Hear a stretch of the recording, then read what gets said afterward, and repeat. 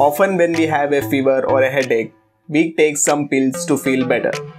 But when we swallow the tablet, how does it know which part of the body needs to be attended? How does it track pain?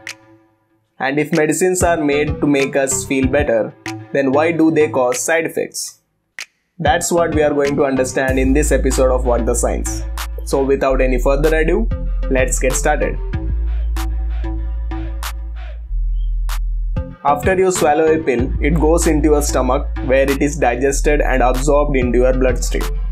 Once it gets into your blood, the medicine travels throughout your body to search the target area. It searches all over the body and not only finds the target where it should be acting on, but also where it can act, even if it is not the place where it was intended to. So, whenever you take a pill for an ache, know that it is working everywhere, reducing pain throughout your body. Just because a pill doesn't know where to go, it is acting even at the places where it shouldn't. That's the reason why we have a major problem called as side effects. Side effects are not always that bad. Sometimes side effects become the intended effects, like what happened with Viagra. Viagra was originally designed to be a blood pressure drug with the goal of opening up blood vessels. But as a side effect, it started opening up blood vessels in an unintended part of the body which you know improved erectile dysfunction in men who had trouble. But there is a reason why side effects are considered bad because they are really bad. For example, people undergoing chemotherapy.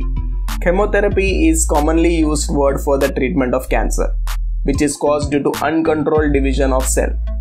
The job of chemotherapy drugs is to look for fast growing rapidly dividing cell and destroy them but there are many cells in our body which is expected to grow rapidly, like our hair.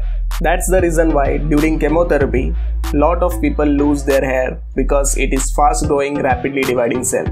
So the drug can't target specific cells that they are intended to. Many researchers are undergoing to develop drugs that are more targeted and we are making some great success in genetic engineering using CRISPR-Cas9 targeting mechanism but developing these special drugs will require more time. Meanwhile, we are stuck with medications that work everywhere. So that's it from this episode of What the Science. Please feel free to put down your comments and suggestions about this episode in the comment section below. And since you have watched this video so far, please do hit the like button also. I am keeping a target of 100 likes on this video, so let's achieve this target together.